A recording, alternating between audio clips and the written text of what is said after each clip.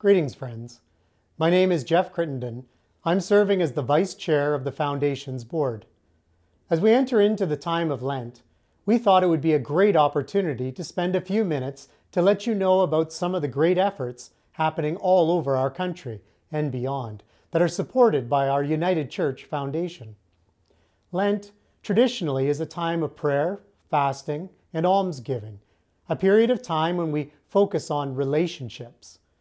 Now, we all know that relationships come in a variety of experiences, from complicated to supportive and grace filled. During the time of Lent, we're invited to ponder our relationships, and as John Wesley reminds us, to shed that which weighs us down, which is to say, spend time considering what is of value and what needs some attention or discarding altogether. I sometimes think of my grandparents during Lent I remember how, as a child, their house was filled with so much. Then, as they moved from a house to an apartment to a nursing home to long term care, I saw what things were of particular value to them. Great grandma's china, great grandpa's table, but the most valuable were some particular pictures and particular handwritten notes.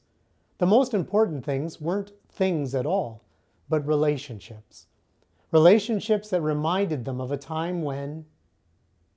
Lent is a time to sort through our lives and remember who we are and whose we are, where we come from, and where one day we trust we experience life beyond the grave. That is one of the reasons that I value the foundation. Our foundation supports relationships, whether it's the Fred Victor's Fred Fill a Home, which provides furnishing and a place to call home for those who are coming to Canada for the first time, or perhaps have never known what it is to have a permanent address. Or Wesley's seasoned soul dinner, where so many gather around a table to break bread.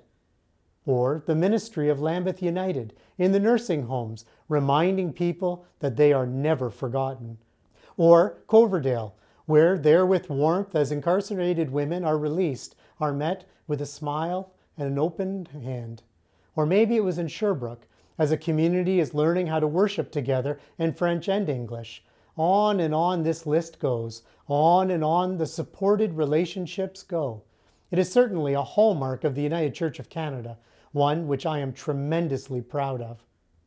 As we enter into our time of Lent, remember some of the stories of communities that are being supported by us.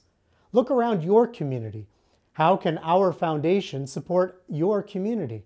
How can we support you in nurturing those relationships? Thank you for your ministry. Thank you on behalf of the United Church Foundation.